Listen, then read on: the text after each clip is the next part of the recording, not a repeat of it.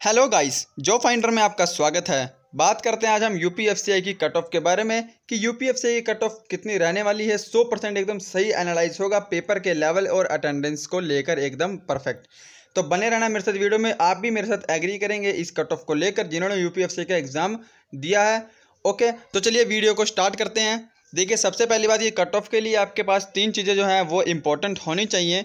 वो आपको पता होना चाहिए कि टोटल पोस्टें कितनी हैं। टोटल फॉर्म कितने भरे गए हैं और कितने एबसेंट रहे हैं, ठीक है? तो पहली बात तो ये पता होनी चाहिए, जैसे कि हमको पता है कि जो टोटल पोस्टें हैं वो 408 थी। फॉर्म जो है चार से पाँच लाख फिल हुए थे अकॉर्डिंग टू न्यू न्यूज़पेपर और अदर वेबसाइट ठीक है? ऑफिशियल वेबसाइट ऑफिशियल इसका कोई नोटिस नहीं है बट इतने हो सकते हैं फॉर्म फिल क्योंकि आपको पता है अदर स्टेट ने भी फॉर्म भरे थे और खुद यूपी की जनसंख्या तो आपको पता ही है। ठीक है, अब बात करते हैं एबसेंट के बारे में तो दो लाख के अप्रोक्सीमेट यहाँ पर एबसेंट हो सकते हैं मेरे हिसाब से, क्योंकि बच्चे जब पेपर दे के आए थे तो उन्होंने बताया था कि हर एक पेपर हर एक शिफ्ट में दस से बारह बच्चे हर एक क्लास में एबसेंट आ रहे थे। आपको पता है कि रेलवे ग्रुप डी के एग्ज़ाम भी चल रहे थे, आगे पीछे तो इस वजह से थोड़ा हो सकता है। अब बात करते हैं पेपर के लेवल को लेकर, जो कि सबसे इंपॉर्टेंट फैक्टर अदा करती है आपकी कट ऑफ़ को बारे में।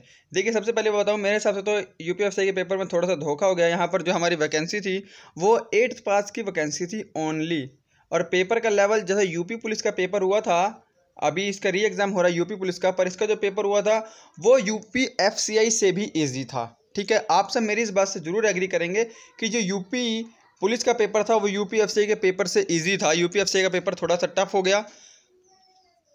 अब बात करते हैं हिंदी को लेकर। जो हिंदी थी, देखिए, वो बिल्कुल इजी थी। अगर आप इसमें नंबर गलत करते हो तो इसमें टोटली आपका फॉल्ट होगा।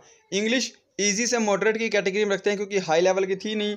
इजी कुछ कुछ थी और कुछ कुछ मॉडरेट थी। इंग्लिश शायद सबको कठिन लगती है। यूपी में खैर इंग्लिश बहुत ही कम आती है। पेपर्स में तो शायद कठिन लगती होगी।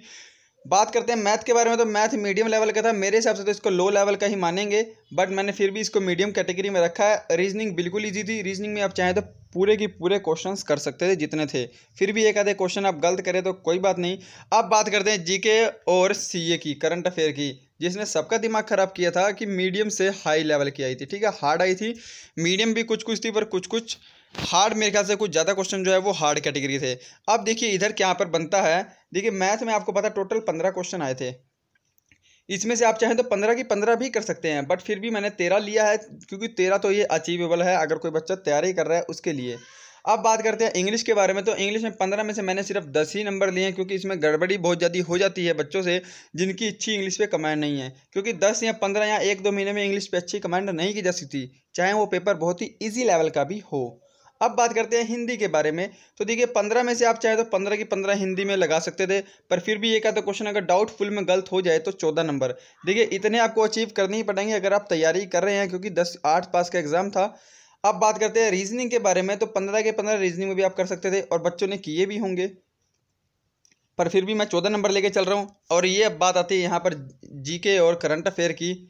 ठीक है, जो एक टफ पोर्शन बन गया था इस एग्ज़ाम में, यहाँ पर बच्चों के साथ धोखा हो गया कि साठ नंबर की जीके और करंट अफेयर दे दी, जबकि मेरे ख्याल से तीस तीस का ही पैटर्न बनता है। फ़िलहाल एग्ज़ाम में हर एक जगह तीस तीस का ही पैटर्न बन रहा था और यूपी में थोड़ा सा गड़बड़ कर दिया। शायद ज़्यादा फॉर्म्स को देख ऐसा किया है, ज़्यादा लोगों ने अप्लाई किया। इस वजह से पेपर टफ बनाए हैं, जो भी रीज़न हो सकता है। ठीक है, चालीस से पैंतालीस नंबर के बीच जो है आपके जी के या करंट अफेयर के हो सकते हैं, क्योंकि देखिए, चालीस से पैंतालीस नंबर आपको लेने ही पड़ेंगे। इस लेवल पे आके फॉर्म भी ज़्यादा फिल हुए हैं और पोस्टें भी कम हैं। और इसमें नेगेटिव मार्किंग भी नहीं थी। अगर आपको तीस भी क्वेश्चन आते हैं तो आपके अगले अगले तीस, साठ में से आपको तीस क्वेश्चन तो आते ही होंगे ना। अगले तीस में से आप दस से पंद्रह क्वेश्चन तो तुक्के मार के भी ठीक कर सकते हैं। दस तो ये अप्रोक्सीमेट कर सकते हैं, इसलिए आपके चालीस नंबर जो है वो बन ही सकते थे। अब बात करते हैं ग्रैंड टोटल हुआ हमारा ninety five but cut off जो है इसके अराउंड घूमने वाली है। ये कट ऑफ़ जो है ये नाइन्टी फाइव ये ऐसी अप्रोक्सीमेट बनी है। अब बात करते हैं हमारी कट ऑफ़ के बारे में। तो देखिए, जो कट ऑफ़ रहेगी, वो मेरे हिसाब से 95 से 105 के बीच में रहेगी, ठीक है?